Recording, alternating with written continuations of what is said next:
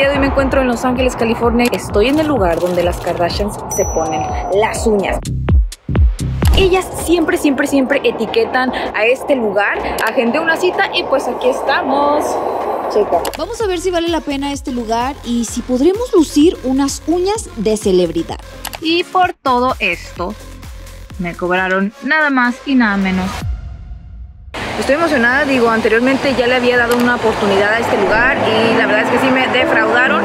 Ahora pues no traigo un cochinero en las uñas, la verdad es que estoy muy bien con, con el manicure ruso que me he hecho los últimos meses, pero traigo una uña quebrada. No sé cuánto me vayan a cobrar por esa uña quebrada, yo nada más quería que me cambiaran el gel.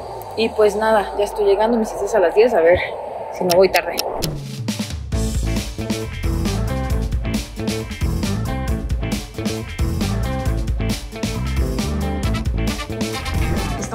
Del procedimiento me pidieron que me lavara las manos para quitar el exceso pues de acrílico. Que me las lavé y se ven un poquito más decentes. Ahora sí a continuar con el procedimiento.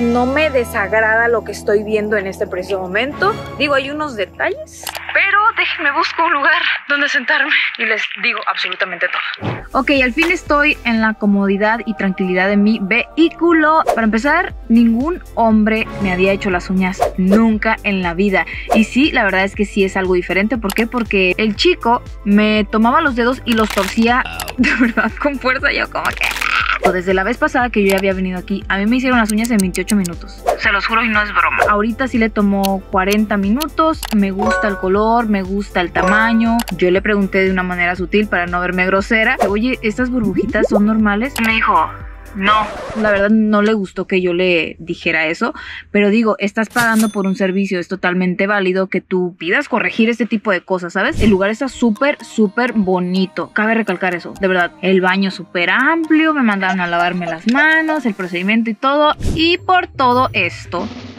me cobraron nada más y nada menos que 90 dólares. Déjenme les muestro de una vez por todas este mega resultado. Hay detalles, es una realidad. Si tú te acercas, si vemos como hay como un pequeño relieve, obviamente si le hago así, ¿verdad? Pero de lejos pues creo que se ve bonito, el color se ve sutil. En este dedo fue donde quedaron muchísimas burbujas y quedó como una plasta café a comparación de las demás. Creo que este lugar no, no está tan padre. Está padre el hecho de que digas que las Kardashians y que no sé pero yo soy feliz en Tijuana poniéndome las uñas por 500 pesos con la chica que me hace el manicure ruso y lo hace perfecto. Entonces, de pagar 500 pesos a pagar 100 dólares, yo me quedo con Tijuana. Manicure ruso, eso de sí o sí no me falla. Y pues no hay detalles, no andas también con presión de, ay, que no me vean feo, porque sí, déjenme decirles que persona que entraba, persona que como que miraba así como, ay, ¿qué traes puesto? Lo que sea. Ese tipo de cosas me causan un chorro de conflicto, pero bueno, ya me callo. Esta fue mi experiencia. Tú vendrías a este lugar.